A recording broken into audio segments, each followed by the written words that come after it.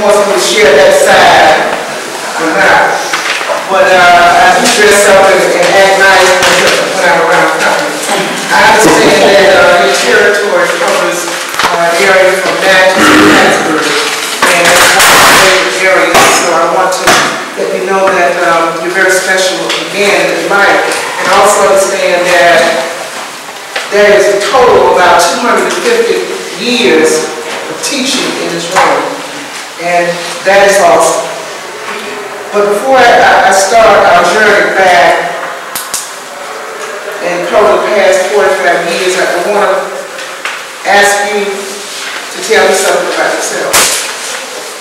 I know one person in this room, and I've known him all his life, and um, we'll pass him when we start making introductions, James Harden, uh, because I got to know him because his aunt, who raised him, is one of my best friends, we work together.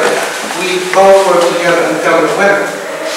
And um, Linda is an individual who really makes it happen. Intellectually, she's superior. She stands her ground. And she's afraid of nobody, so we have a lot in common. I respect those individuals who are past and who won't back down. So let me just start here with the lady pink.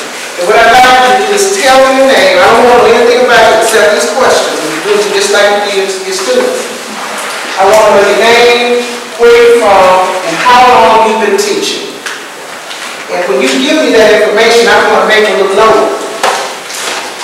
I used to be able to do it without taking notes. Now that I've passed 60, I have to make a lot of notes. Okay, so we're gonna start here. Don't worry about talking fast, just let me have I can keep. My name is Linda Walker, Uh-huh. grew up in Jesse County, but I live in Brandon now. I've been teaching almost forty years. Almost forty years. Are you still teaching? Yeah, I teach at the Mississippi College. Okay. Yes, sir. I was in Mississippi, my hometown is Washington DC, and I've been teaching twenty-five years. Do you teach in Mississippi? No, I teach okay, so I can't, you, do you teach in Mississippi? Or you teach in Mississippi? Okay, good. Let's go, President. Stephen Ford, teach at Dexter High School, I've been there twenty years, Where is Dexter? um, east of Colleton, Okay. Villanova. Okay, that's the square problem. So we're good company. And you two teachers? Yes, ma'am. My name is Glenda Hall. I teach at Wilkinson County High School in Woodville, Mississippi. How long? Ten years. Okay. Yes, sir. And yes, ma'am. My name is Melissa Knight, and I teach at Curtis Middle School, and I've been teaching for nine years. Okay. Uh, Linda Richard, I teach at North Pike High School in Summit, and I've been teaching 12 years. My name is Sherry White Cotton, and I teach at Oak Grove High School in Hattiesburg, Mississippi, and I've been there 19 years. Okay. My name's Shane McGee, I teach at Hood Road High School also, this is my second year. Okay, so you almost a baby. You second, okay? Yes, sir. I'm, I'm Tracy Winton, I'm from Columbia, uh, and I teach at Columbia High School, and I've been teaching for 13 years. Okay. Ron Knight, Columbia High School, 11 years. Don't need to give me, everything, okay? Marcia McNeil, East Marion High School in Columbia, I've been teaching for 15 years. Bridget Gilmore from Brookhaven, Mississippi, and I teach at Brookhaven Elementary School, and I've been teaching for nine years. Okay. Chris Russo, Oak Grove. I didn't get your last name, Russo, okay? uh, Hattiesburg, uh, Oak Grove High School in Hattiesburg, and Backers. Okay. Uh, Jim Fairchild, I'm from Madison County. I teach at Hattiesburg High, this is my third year. Okay. Sandra Trumbull from Natchez, Mississippi. I teach at Morgantown Middle School four years. Okay. Good morning, my name is Benita Hamilton, and I'm from Natchez, Mississippi. I've been teaching at, in Natchez School System for 23 years. Twenty-three years. Hi, I'm Yolanda Winding. I teach in Natchez at Fraser Elementary, and I've been teaching for 22 years. What was your last name again? Winding, Okay. Yes, ma'am. I'm Fran Kalush. Um, I teach at McComb High School, and I've been teaching for 17 years total. Okay. Vicki Malone, I also teach at McComb High School, nine years. Yes, High School, two years. Okay, Nicholas Dodson, South Pike High School, first year. first year. Good at Okay,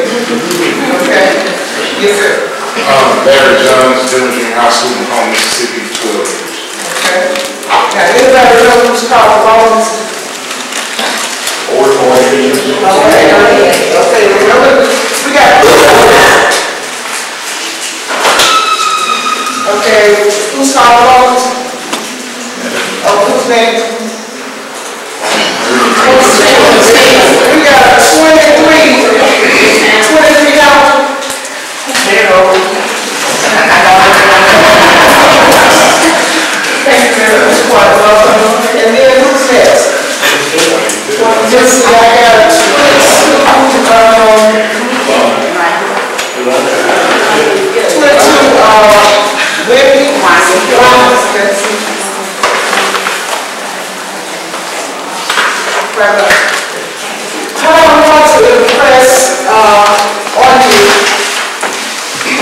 is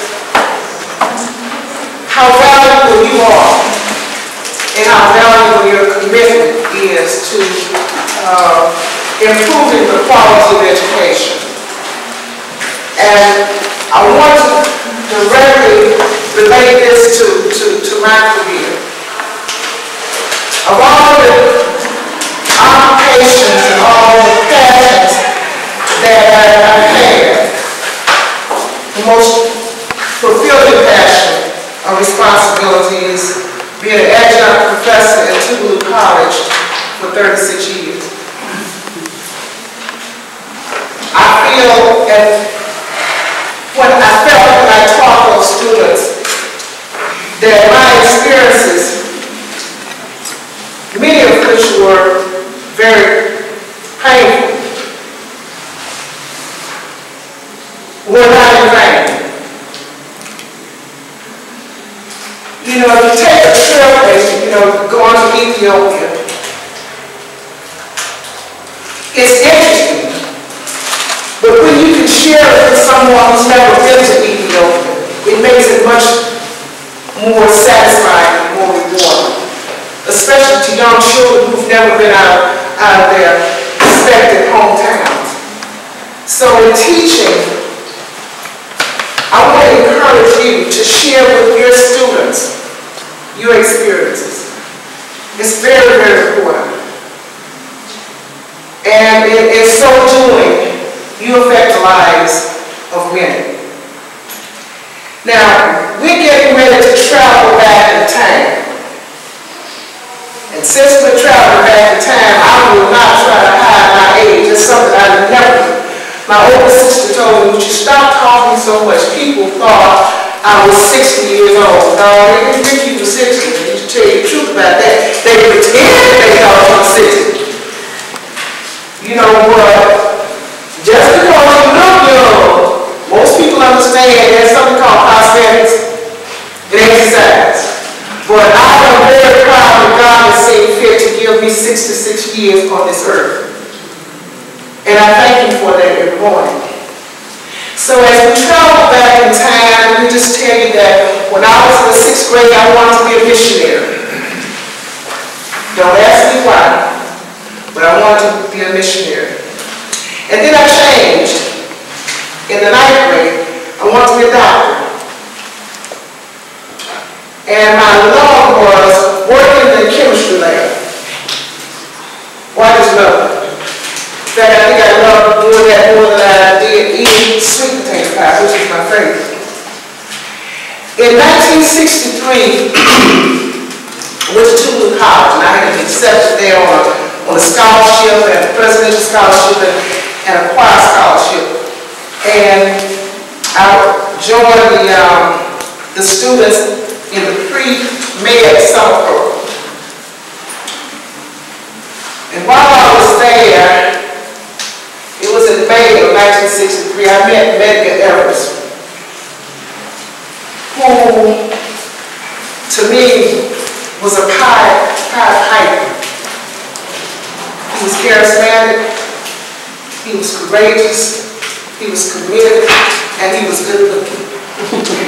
and I don't know which of those really tuned me in. But 12 days after I met him, he was assassinated, he was murdered. That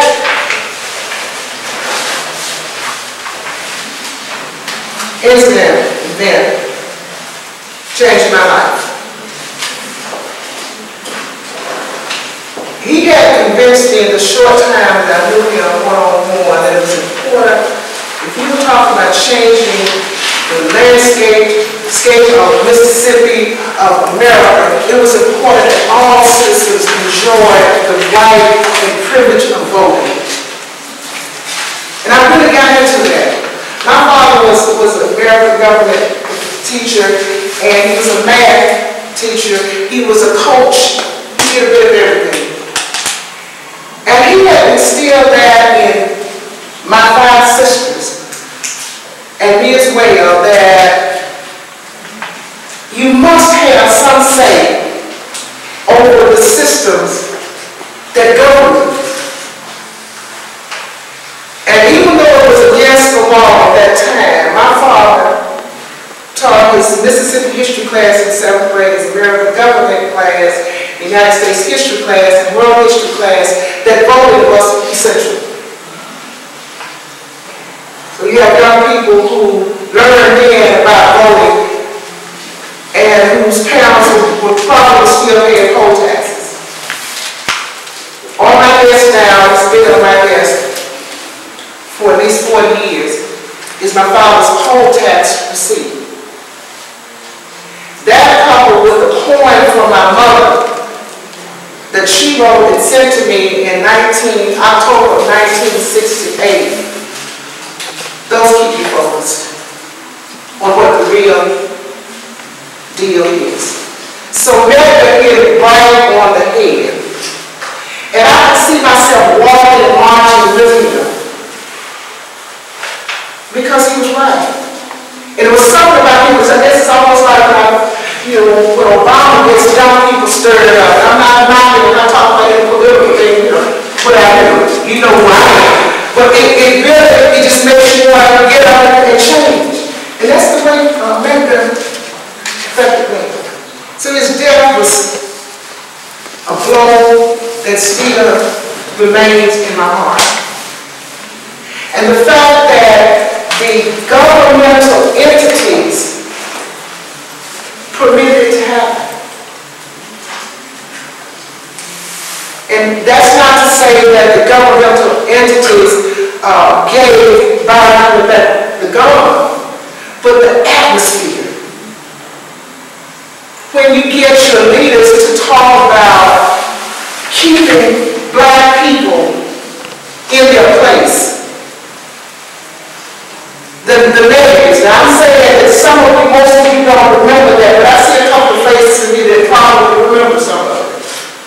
And it was nothing to get on the phone, on the, on the, on the, on the telephone, television, and, and talk about killing people who came uh, to Mississippi to change our way of life. That was, that was, that was, uh, that was common. So out of that, um, I developed now on the agenda. Uh, I my my um, major to pre-law, but decided to become an attorney. Most people say, well, you, do you love the practice of law? I hate it. Most people say, you hate it? I never liked it. I only became an attorney to bring about changes. And back then, everybody was going to, if you really wanted to make a change, you weren't going out being a missionary. You weren't going out saving lives. You were going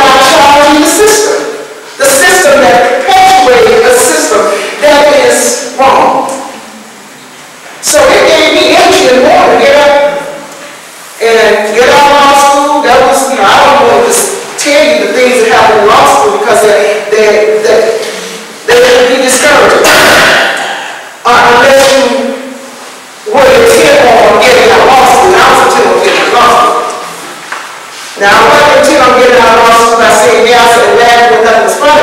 I, I'm not that kind of person. But I was determined to learn what other lawyers would learn that I would continue to practice on, and against. And I did. And the best thing about it is back then, if you went to law school and everybody was going to law school predominantly white men, if you went to law school, you did not take a bar from Mississippi, University of Mississippi.